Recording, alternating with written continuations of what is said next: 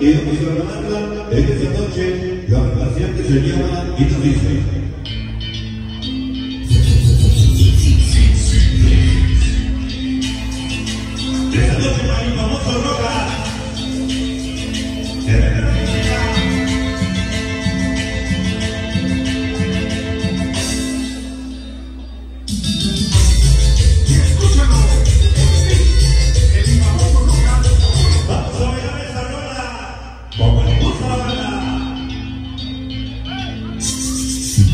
Thank